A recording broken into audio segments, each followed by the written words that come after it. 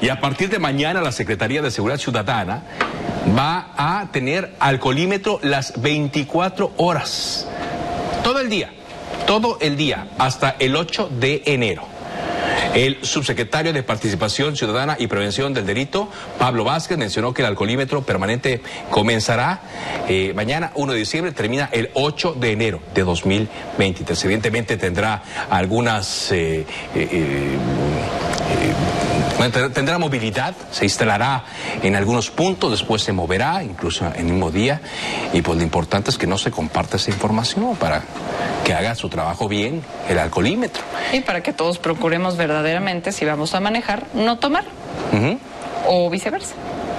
24 horas a partir de mañana. Se lo recordamos, mañana tendremos más cobertura eh, al respecto, pero a partir de mañana tenemos esta pues eh, instalación para protegerlo, ¿no?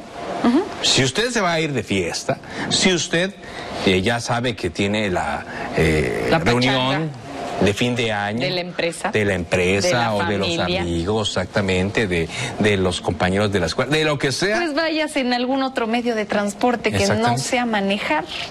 O sea, pida un taxi de aplicación dígale a alguien que pase por usted, así se ahorra, porque estaba eh, leyendo, Paola, que las sanciones van a ser de 20 a 36 horas, horas de arresto, depende de lo que determine el juez que va a estar eh, viendo tu caso, el juez cívico, te puede decir, te quedas 20 horas en eh, arresto ahí en, el eh, torito, o hasta 36 horas. Y nada de estar aplicando, ay, con una pastillita de menta ya conoce. No, no, no, estos aparatitos lo que miden es el nivel de alcohol, sin importar si huele usted o no alcohol, así que aguas. Punto 40 es el límite. Punto 40. Punto 40.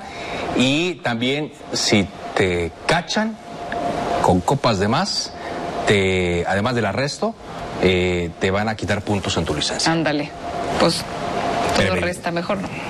Pues no, y mejor llegue bien a su casa. ¿no? Sano y salvo.